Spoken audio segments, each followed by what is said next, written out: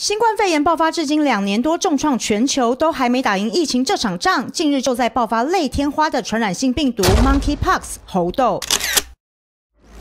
根据世界卫生组织表示，猴痘与过去在天花病人身上所观察到的症状相似，但临床严重程度较轻。目前猴痘已经扩散到全球十三个国家，累积近一百起病例，其中包含美国纽约。根据现有资料显示，跟有症状病例出现密切身体接触的人群中，正在发生人传人的情况。猴痘病毒跟天花病毒一样，都属于正痘病毒的一种，是一种罕见的人畜共通传染病。一般人感染后发病期约零到五天，会出现发热、剧烈头痛、淋巴结肿大、背痛、肌肉痛、重度疲乏、精神不振等等。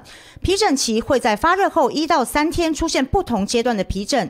经常从面部开始，再扩散到身体其他部位。皮疹的变化从斑丘疹到小水泡、脓泡，大约在十天后结痂，约三周后结痂才能完全消失。此外，病变数量从几个到几千个不等，会影响口腔黏膜、生殖器、结膜和角膜。